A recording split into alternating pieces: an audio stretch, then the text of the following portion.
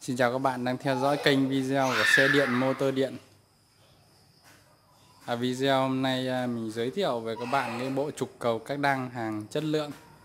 Đối với cái dòng cầu này ở giữa hai thân cầu trục cầu và hộp số thì nó đều à, sử dụng phớt thay vì sử dụng keo. Đó là sự khác biệt. Đây, đây là cái lá phớt. Đấy. Đấy là một điều à, trước tiên, về sự khác biệt của nó.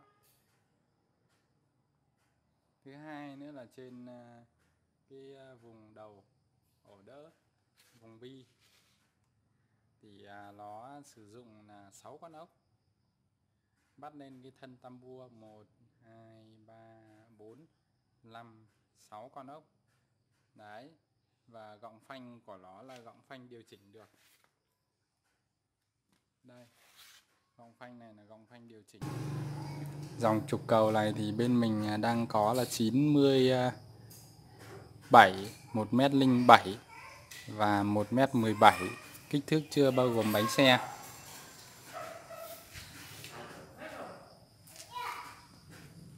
Hàng thì rất là nhiều.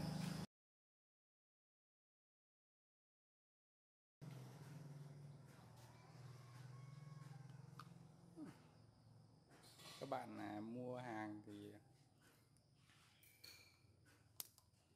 à, nếu như sử dụng lâu dài thì đừng vì một hai trăm nghìn mà chọn loại à, chất lượng nó kém. Chất lượng thì nó cũng không chênh nhau bao nhiêu nhưng mà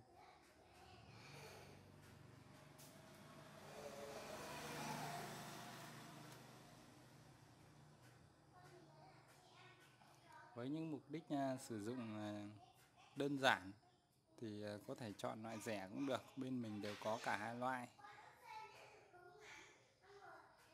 Giá của cái dòng cầu này thường là dao động từ 2 triệu 3 đến 2 triệu 4 tùy theo chiều dài và chiều ngắn. Còn đối với những dòng cầu kia thì giá nó dao động là từ 2 triệu đến 2 triệu 2 tùy theo dài ngắn thường là 2 triệu và 2 triệu 1 bên mình bán là 2 triệu và 2 triệu 1 loại rẻ hơn.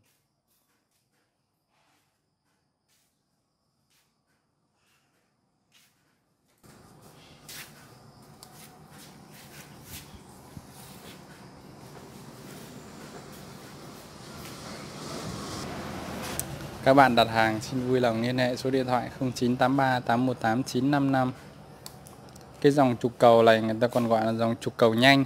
Nó rất là phù hợp làm với xe máy Và sử dụng động cơ điện đấu trục ca đa.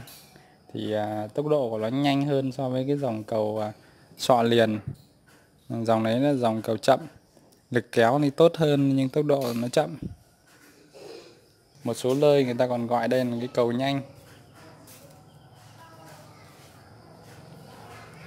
Cảm ơn các bạn đã theo dõi video của mình.